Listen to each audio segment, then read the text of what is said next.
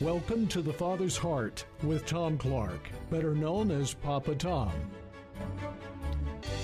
Good morning. This is Tom Clark with the Father's Heart Talk Show. And I have with me again on our, our show Stu Epperson Jr. from the Truth Network.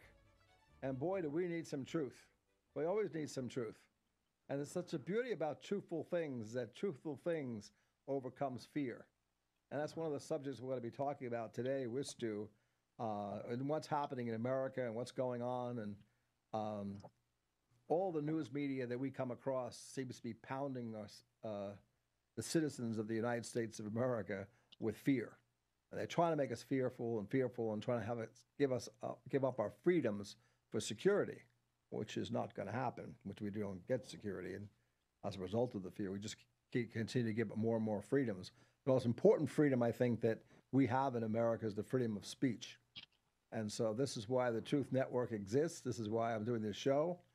Uh, remember, our mission statement is bringing the hearts of the fathers to the children and the hearts of the children to their fathers, possessive case, lest they smite the land with a curse, and the curse is already upon us. It's the curse of fatherlessness.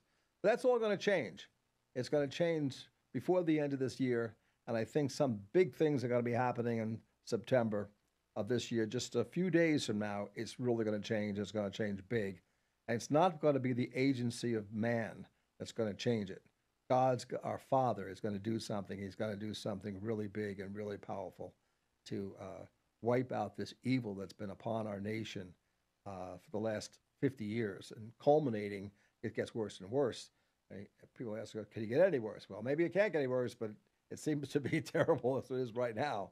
And uh, part of that terribleness of evil uh, combating good is to try to shut us up, to censor us, and to take away our freedom of speech. So, uh, Stu, why don't I turn the thought over to you and you could speak into that uh, thought process? Well, the beauty of America, it was founded on the axiomatic bedrock foundation of freedom of speech, freedom of expression. Mm-hmm.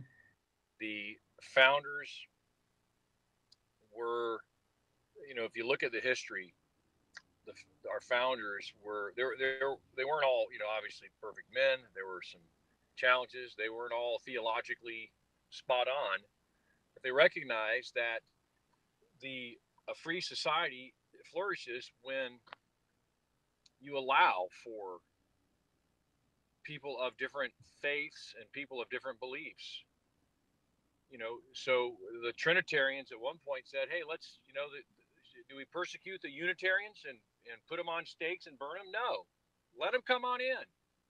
Let's have good, rigorous discussion. Let's disagree, but they can have their houses of worship. We can have our houses of worship. What about the Mohammedans, which is what they what what how they referred to the Islams, the, the Muslims?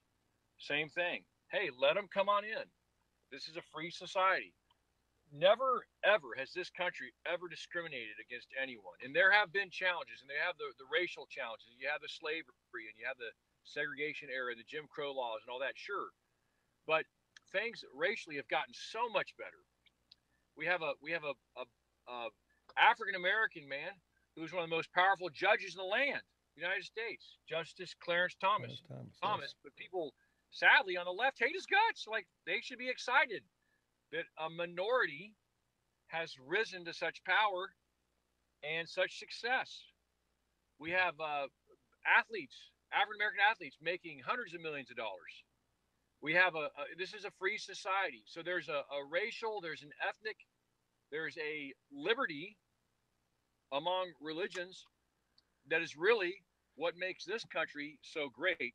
And at the heart of that is this freedom of expression and keeping the government the the the whole idea of religious liberty is not to keep it's never been to keep the church out of government. Is to keep the government out of church. Right that's true. Quit defining what gender is government. Quit defining what marriage is government. Quit telling us what we can and cannot say.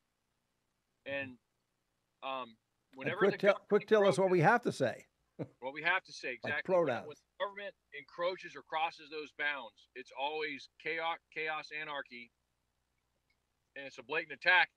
And the very foundation of this country, that religious liberty, is eroded, and right now it's eroding because we have we have worldviews.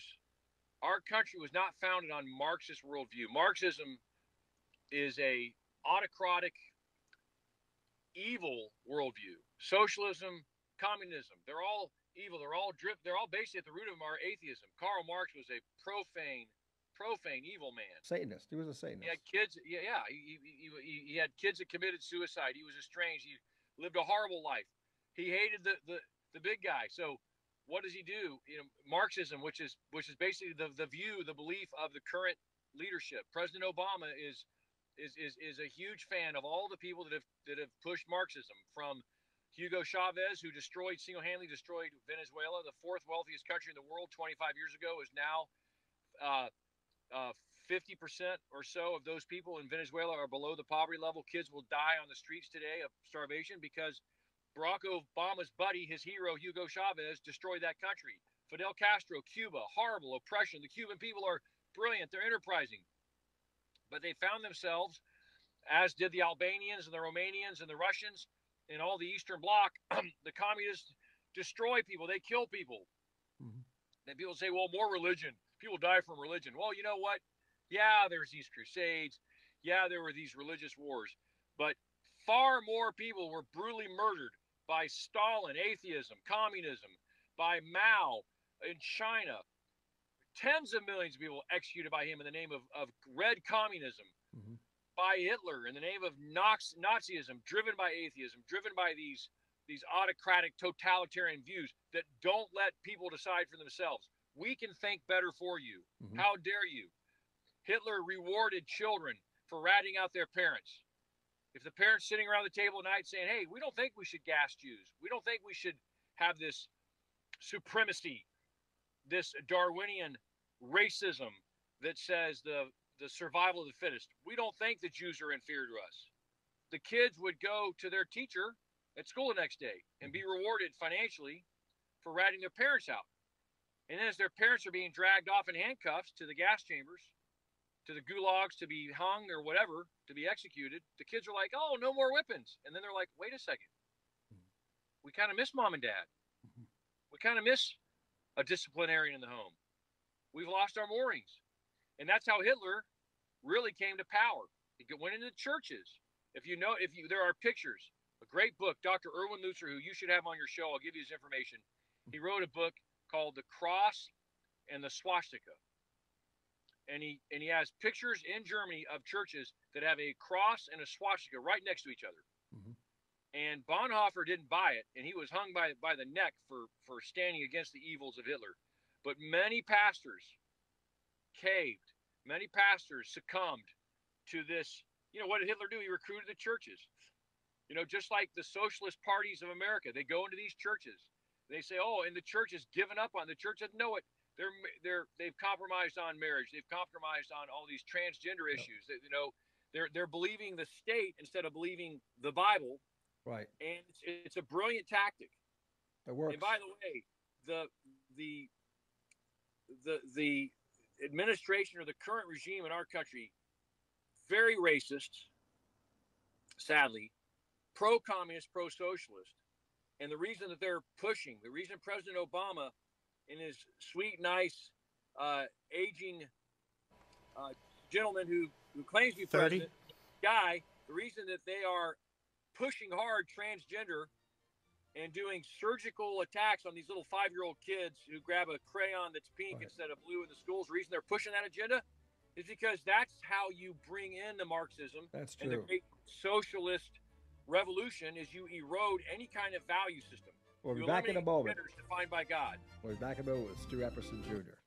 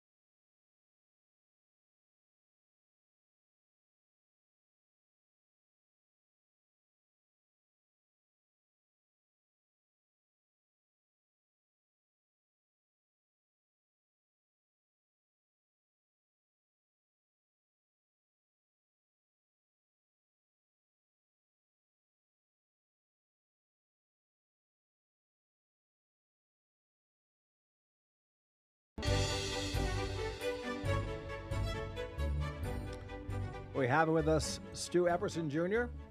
from the Truth Network, and we were just talking about government and Marxism and communism and all these different things. I think we owe it to our audience to first step back and discuss a little bit about what government was supposed to exist for to begin with.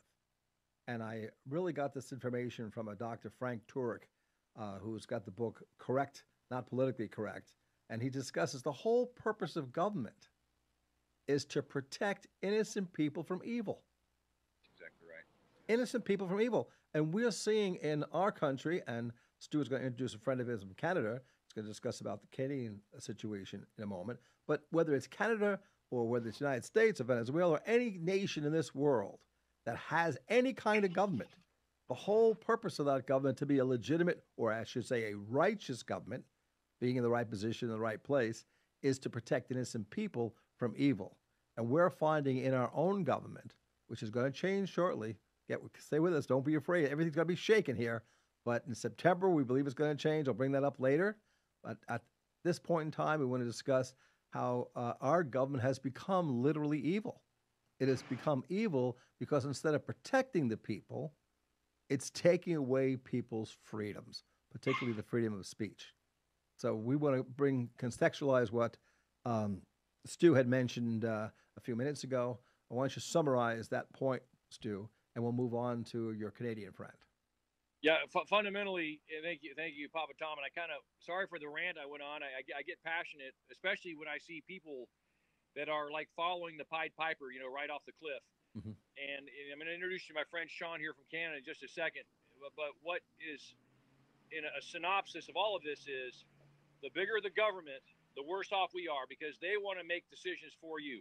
They want to tell you what marriage is. You want to marry your mom? Go right ahead. The United Methodist Church is basically going to have to let people marry their mom. Well, you love your mom. Why not? Mm-hmm. You want to marry your dog? Well, the dog is a is man's best friend. Literally, we used to laugh at this stuff, but that's what they believe, mm-hmm. and that's you. How dare you say no? How dare you use that hate speech? HR 55 which has been a little bit on hold, thank God, from the Senate, is basically says that that if you say, if you if you we call it misgendering now, but if you tell someone that homosexuality is a sin, you can say it in the most loving way possible. You can say, hey, there's former homosexuals that have been saved, that God can work through that, and God can change someone's heart. He saved a wretch like me. All sins are equal. You know, you can say all that stuff, but if you dare say something's a sin and someone needs a savior, you will be tagged with a felony and you will go to prison. And there's pastors that you you will if you don't marry a man and his brother or a man and his daughter, Stu, come on. Yeah, if you don't perform that marriage, those nuptials, you will go to prison. That's exactly where President Obama, President Biden, they want to take us. Biden goes out because of the things. Well, Harris wants to take us there worse mm-hmm. because they believe that government is the solution. In their world, in their construct, government is God. So the bigger the government is, the more the government tells you how to parent or how not to parent or get, gets more control. The because they don't believe in the God Almighty who gave our founders the wisdom to put together a thing called the Constitution that gives us freedom of speech, freedom of religion, freedom to go here and go there. Instead, they believe that they got to tax us more, that they can do better with your money than you can, which that's a joke.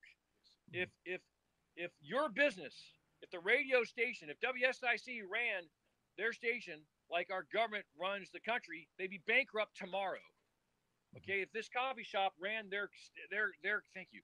There there I just got my order here, my big smoothie. Thank you, Baller Nation. If this coffee shop ran their coffee shop like our government, so it's like, well, then why does the government want more of their money? The government should be giving us more money, giving us more incentives. The capitalism is a beautiful thing. Yeah, there's crony capitalists, but at least the idea is give the people the power to compete, the free markets. this is all, by the way, very biblical. The right to own property. That's why there's that that little thing called the uh, seventh or the eighth commandment: "Thou shalt not steal," because you have property. It's given to you not by the government but by God. And you'll notice every Marxist regime, socialist and communist regime, they want to take away your property because they know how to do it better than you. They want to take away your business and tell you how to run your business, tell you who to hire, who not to hire, and, and don't hire on competency, hire on these other nonsensical things. And they want to take away your money and your property rights and they want to take away your guns because like they can defend you better than you can. That's the Second This is Amendment. how right. it goes. And by the way, the church gets quiet. Oh, those are political issues. I think murdering a little child in its mother's womb, that is a moral, absolute evil. Mhm. And it's time we spoke up. And preacher, it's time that you get you you you you you you, get some boldness. And you stand up for what's right. I'm not saying go Democrat or Republic from the pulpit, but I'm saying preach against the sin and challenge people to be a, in a culture of life and preach the gospel, which is the true heart solution. But what happened in Canada about 30 years ago, the Canadians got together, the church in Canada got together, and they said, you know what? We're going to stay in the church. We're not going to speak to these cultural social issues. Sexuality, prayer in schools, the Ten Commandments. We're not going to speak to marriage. Let the state be the state, we'll be the church. Now, there are pastors in Canada going to jail for that decision. Mhm. And now they they instead of saying, you know what, instead of how our founders intended it, the earth is the Lord's. Everything is the Lord's. How you vote is is a kingdom decision, right? Like it's not either or, but it's I'm going to live, I'm going to vote, I'm going to I'm going to be involved with public policy in a redeeming way as a witness. But I'm not going to put all, I'm not going to trust in that as my Lord and my God. And many believers have gone too far in that, and that's wrong. Mhm. But we're going to engage and we're going to redeem even politics. Well, the Canadians bowed out about 20, 30 years ago. Tell them the price they're paying now for it, Sean. To introduce, introduce give me your whole name. He's got a fabulous French name. I love hearing him say it. Go ahead. Sean Godet de Lestard, and uh, Dean Victoria, British Columbia home, folks. And that's where we have a major naval base. It was a joy to serve there at a high school. Um, Canada is a country that, that pretty much just loves liberty of conscience. But as Canadians, one of the hallowed, sacred things we've always held dear is free health care. So whoever kind of controls the purse strings to healthcare controls an awful lot of how society views things. Access universally to a physician is probably one of the fundamental rights, just like liberty of conscience here in America is very, very valued or was. Um, having that ability to be able to see a physician, that was a freedom that Canadians count as valuable as hockey games and uh, Tim Hortons coffee Mhm. things are changing, folks. Just like in America, where the Dominion voting machines have played a major role in how America votes and how those votes are tallied and accounted for, that test phase was done in Canada. And it's been very interesting to see that the current fella, Mr. Trudeau, uh, his father was Pierre Elliott Trudeau, had the privilege of uh, spending some time with him as a young man, um, and concluded that his views ideologically and politically were those of Mussolini's fascism. And they shared those views and as a family, and we see that being played out now. And there seems to be a real propensity towards a change from the Judeo Christians from sea to sea, now changing into government knows best.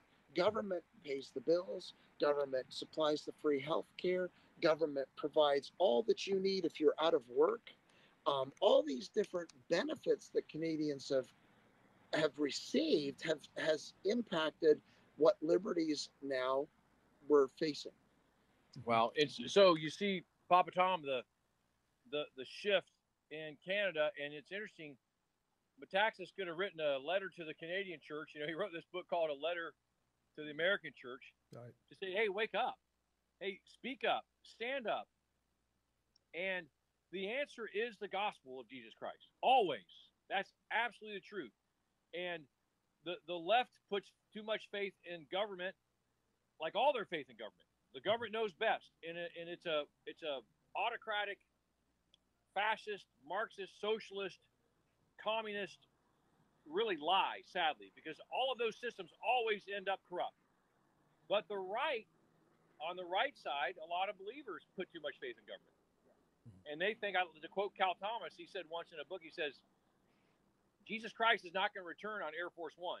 You know, Yeah. so so it's so what we what we do is we recognize that God is God. He is in charge. And right now he's judging our country by giving us wicked rulers. That's what's happened.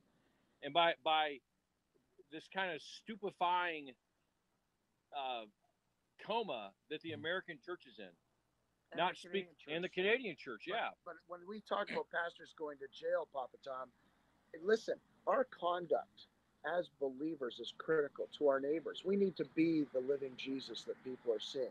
There is a love, but there's also an ability to articulate the gospel message by our behaviors, and that's through the fruit of His Holy Spirit.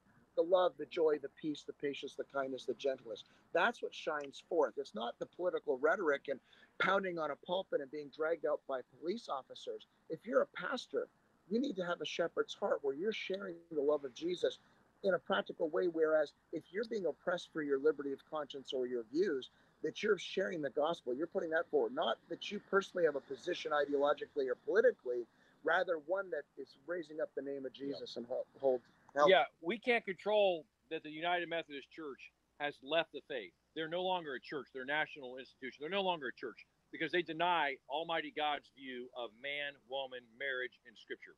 Mhm. But how did they get there?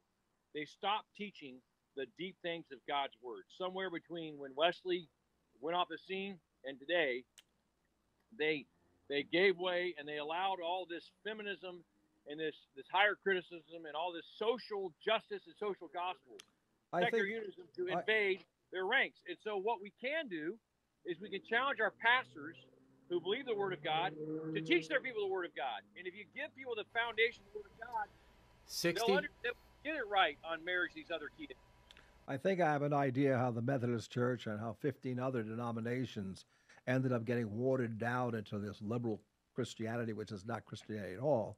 And that's by the almighty dollar that they call it. Yeah. It was funded by Rothschilds and people who- uh, and uh, Rockefellers and these different uh, ruling families that rule the country and rule the nations. They were smart enough to know how to get into the theological seminaries and and provide funding for what they wanted promoted. And this is happening for the last hundred years, eighty years, fifty Yep. years. It got worse. Thirty years, it's been worse. You know, and uh, the 30 Eric Bonhoeffer's, um, or I should say Eric Metaxas's book about Eric Bonhoeffer, The Cost of Discipleship. There is a cost to being a disciple, and we've kind of lost sight of that. And uh, we'll be back in a few minutes, and we'll be able to uh, continue our conversation with Sean from Canada and with Stu Epperson Jr. We'll take a break here.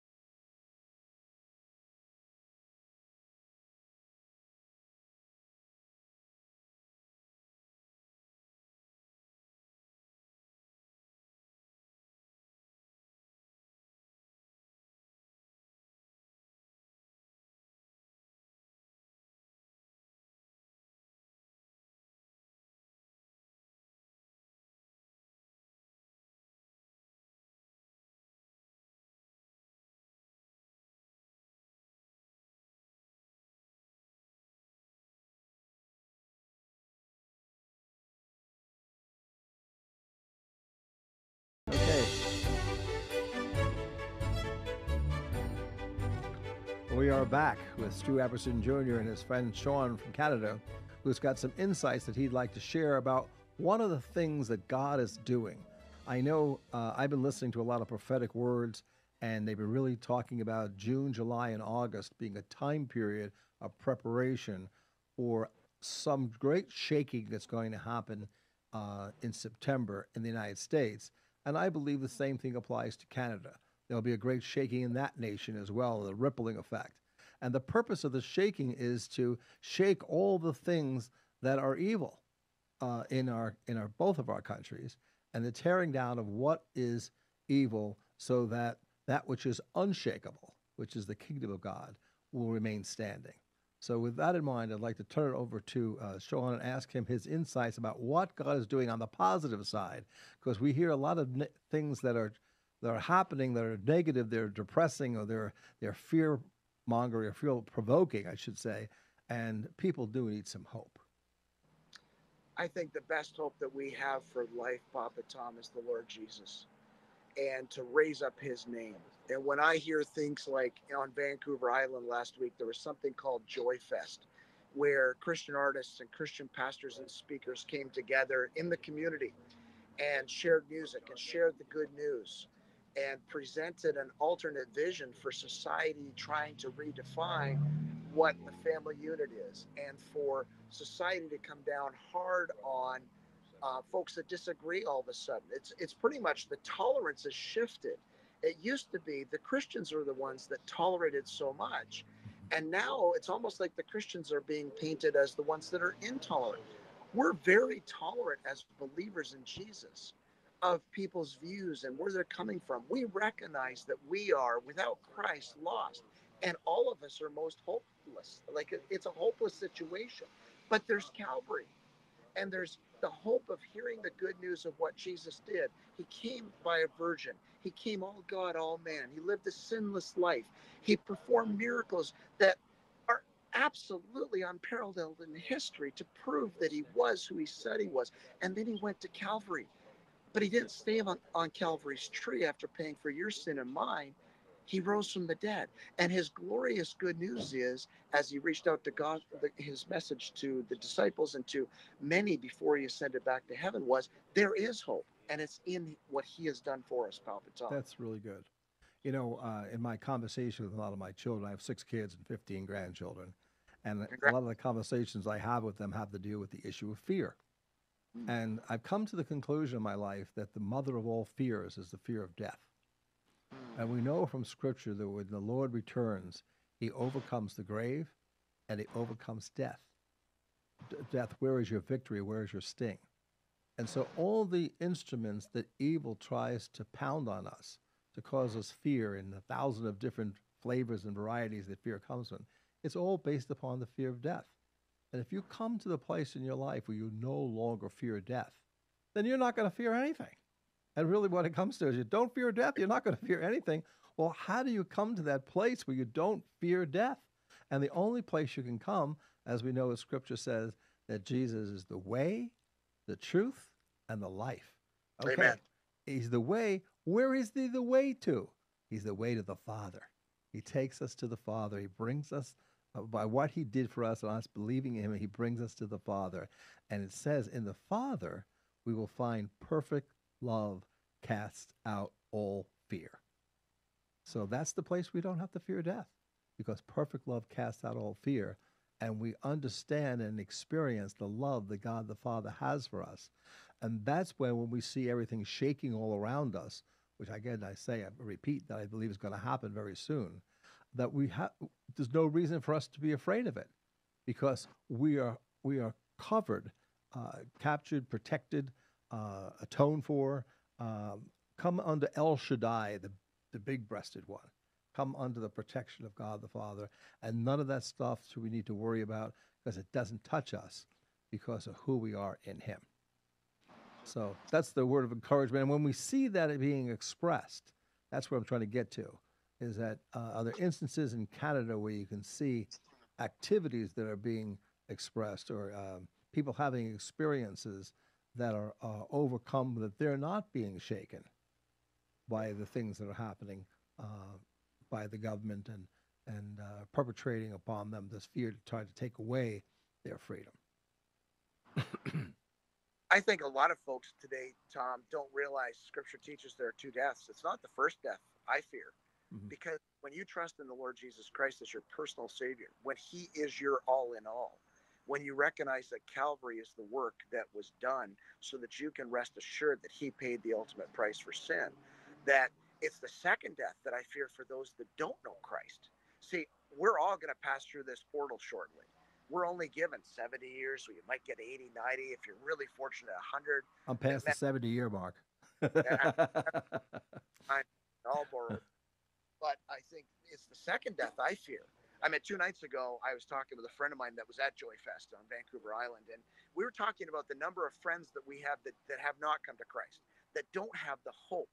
And Allison and I are realtors here in Winston-Salem, North Carolina, and we hear all the time our customers fearful of the interest rates, fearful of the market, fearful of buying a home, fearful of selling a home, all the different fears of missing out. And yet, when you look at the bigger picture, when you look at life generally, you're all those fears are tiny temporal fears. The big one that we fear is that those that we know that have not come to a realization yet in what Christ's work on Calvary is all about. That's what I fear is because they're going to stand before a holy God one day who's going to ask them why he should let them into his heaven. And unless Jesus says they're mine, their names are written in the Lamb's book of life, they're mine, and he's our advocate, there is no hope for them. And so that's what terrifies me. That's the fear of missing out. That's the fear of am I living a life walking in a manner that, regardless if I'm in Canada or the States where we see liberty of conscience being challenged every day, we're hearing in a relative society where relativism is reigning, it's your truth is fine as long as it doesn't hurt me, um, rather than there is foundational truth.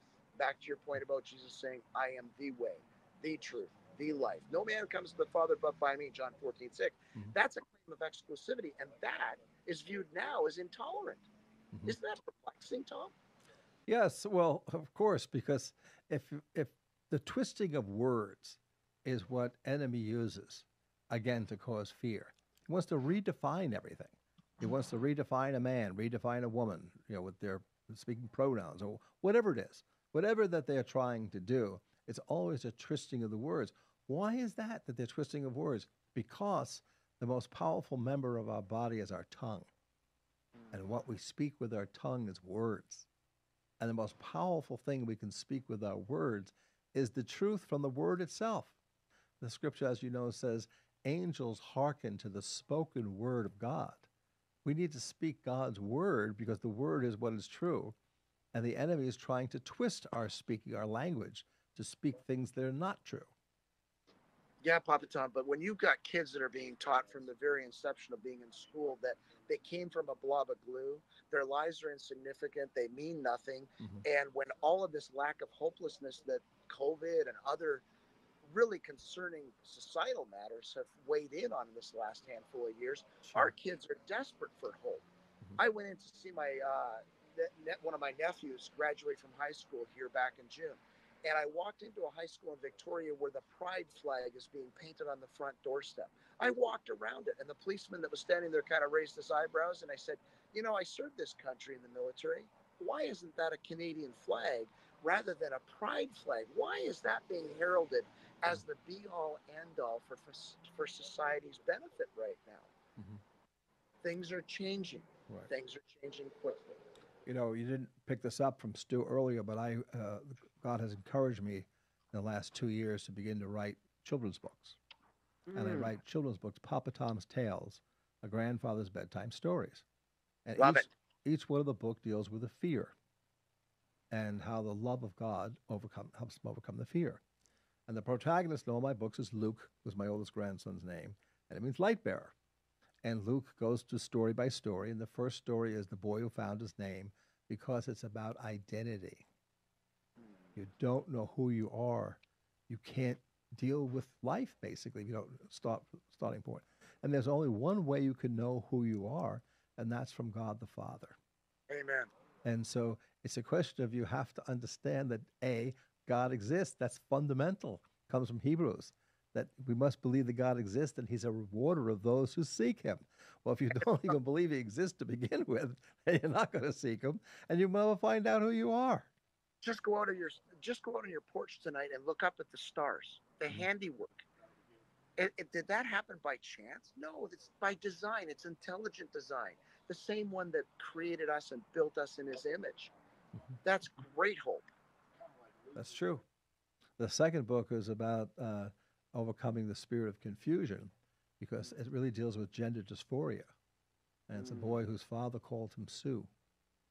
And he called him Sue because a whole bunch of storyline has to do with a background to that. But really, what it came down to is that the father was deceived and he misnamed him. And he goes It up sounds there. like- Is that the Johnny Cash tale, Papa Tom, that gave you that? I, have, I kind of fit in there. A boy named Sue, but the but it turns out his name becomes Samuel, which happen, happens to be the male equivalent of Sue, Susan. Susan's the feminine. Samuel is the male uh, side of that, and uh, the whole purpose of it is that um, the enemy tried confused his father, the boy's father, and because he loved his grandmother and and he wanted to he wanted to have a girl. And when he had a boy, he still named the, the boy a girl's name because of the confusion the father was in. And God explains the whole thing in the book number two and straightens the whole story out why that all happened. But the point is that the spirit of confusion is all over our children. The Yes. enemy is coming after our children 90 and he's trying to confuse them into uh, first of all not understanding who they are to begin with but then secondarily try to confuse them over their gender you know god If we creates could- a man and a woman he didn't he didn't he didn't make a mistake and the confusion over that is that we can somehow change our biology by changing our mindset you can't it's objectively true that you're either a man or a woman a boy or a girl you can't 60? change your your, your uh, biological sex or your gender.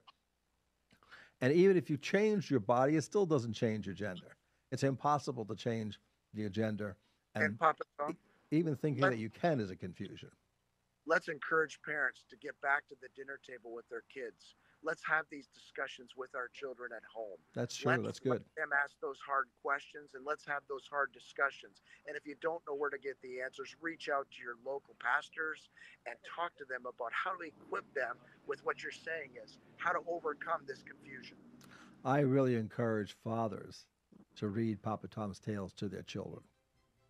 And it's, it's mothers buy the books, but fathers read them. The whole relationship they have going forward will be different, and it'll introduce them to a relationship with God as their father. We'll be back in another, another few minutes.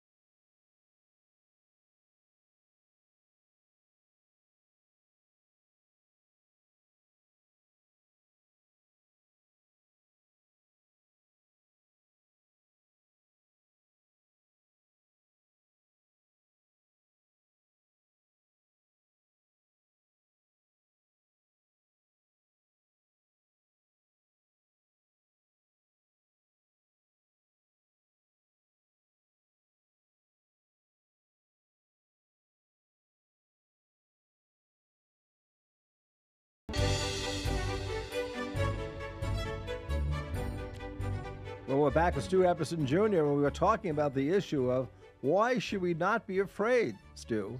What is it that God's doing and that we could see glimpses of that the mainstream media will not show share with us about why people should be encouraged and have hope in what God's doing and what He will be doing very shortly in America and in Canada and throughout the world. I think your opening of your program and your passion, kind of your mantra monicum of Malachi, the last verse in the Old Testament, where he says, you know, the, the, the turning the hearts of the children to the fathers and the hearts of the fathers to the children. Uh, Papa Tom, I was going to ask you to ask me what my favorite of the Ten Commandments, which one's my favorite? Would, I know what it is. I know what it is before I ask, but I, I'll guess it's it's the fourth one. Honor your well, father and mother.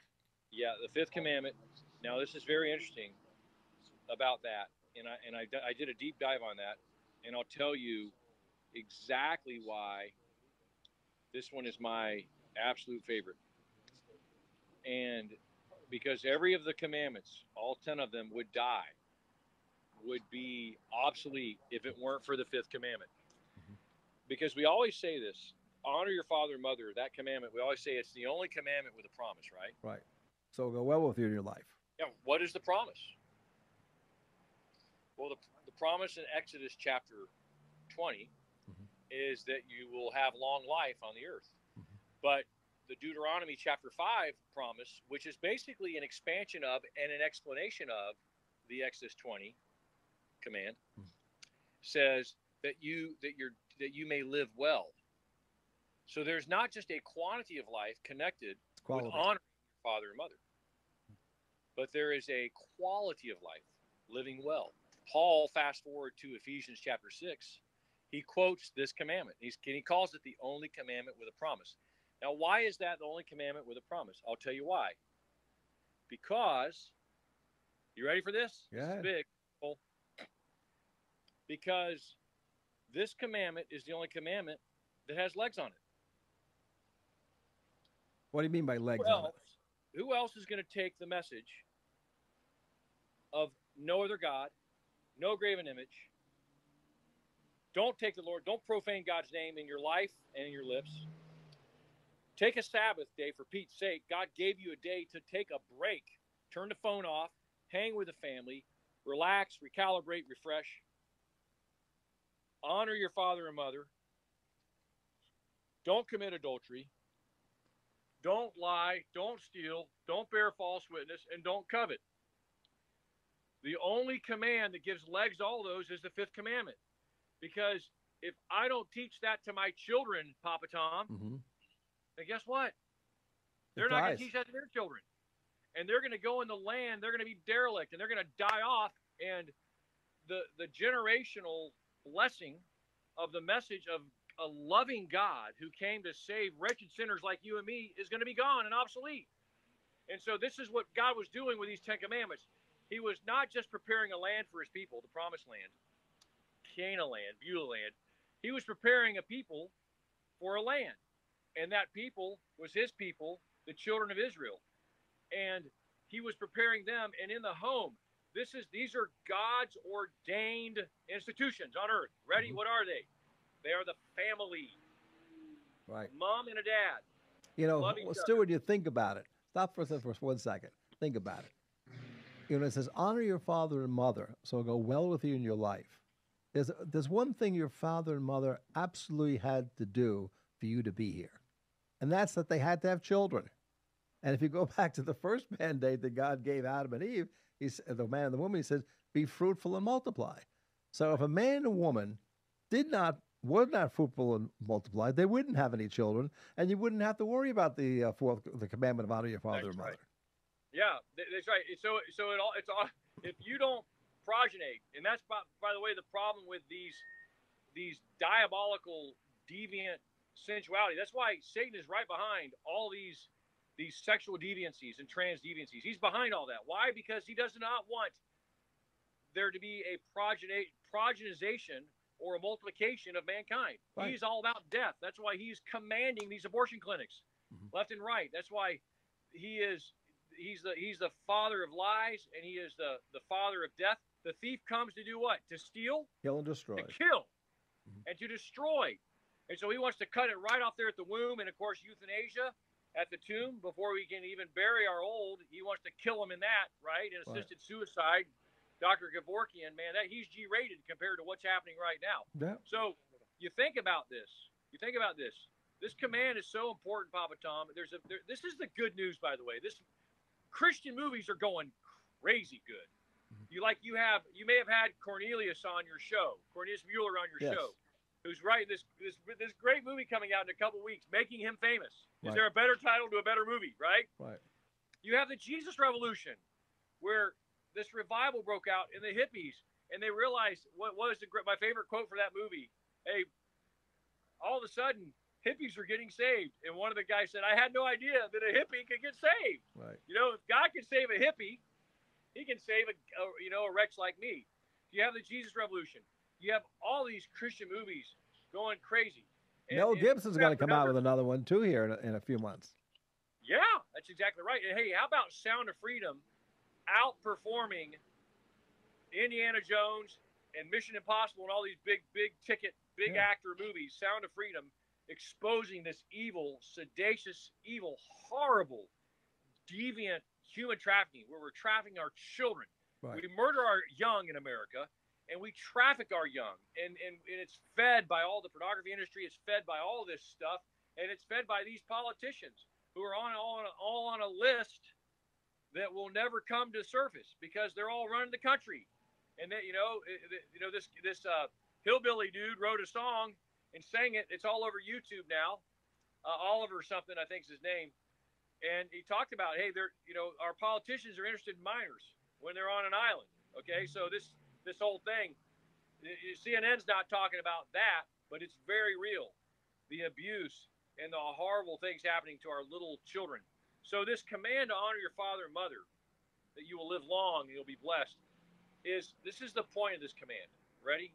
And this is the hard part, because I'm easy, and I said this on your show a month ago when I was a spe- I was honored to be a guest. It's easy for me to go look at all these evil people rioting in the streets, blowing up buildings, breaking into Nordstrom, stealing whatever they want, whatever, and this evil government that allows it, that just is, is fully corrupt. I mean, just blatantly evil. I can say them, them, them, but I got four daughters. I got a son-in-law. I got a grandson. I got grandson or two being born in the next 24 hours down in Jacksonville. They're trying to wait out this storm and have a baby at the same time. And I'm going to tell you, I got a big duty to pour to not just it's not just children honoring mom and dad. It's parents being honorable moms and dads. Mhm. I need to pour in love on my kids, pour Christ in them so much, equip them, empower them, so they will go out. The answer to the reason that this is the most powerful commandment is in modern warfare.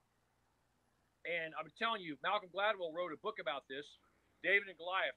When they invented the arrow, they invented a weapon that suddenly changed all of warfare, right? Because you know, mm-hmm. no longer was just arm to arm, hand to hand, spear and sword and clash, right? In, in the rubble and in the in the battle, right? But this arrow could hit someone from 100 yards away, 50 yards away, 25 yards away. In Psalm 126, Psalm 127 talks about having a quiver full of, of children. And we've got to realize we are parents so we can weaponize our children to go out there and change the whole world. I don't have kids. Then you go and make disciples, a la Matthew 28, Christ's famous, final, powerful words before he ascended into heaven. And you go may have spiritual progeny. Who are you discipling? Who's discipling you? Are you in a church that preaches the gospel? That is a the church is to be a discipleship factory. You older men need to take younger men and pour Christ into them and send them out. My dad, we buried him just over a month ago. Powerful message. Hundreds of people came to the service, and hundreds, and now all kinds of more people even even know said that man poured into me, and now I'm a man of God. One guy came. He says, "Man, I was a thuggish ruffian, druggy, beating people up, and Big Stu picked me up and loved me. I was sitting there on the on the porch of the church. He grabbed me, and said, "Come in here and sit between me and Mhm. Nancy." And he, and I called. I didn't know what to call him, so I called him Uncle Stu and Aunt Nancy. This guy was rough. This guy had no dad. His dad checked out a long time ago. His name's Jacob. Jacob now is writing a book. He's pastored churches. He loves Jesus. He's raising a godly seed to send out in the world to change the world.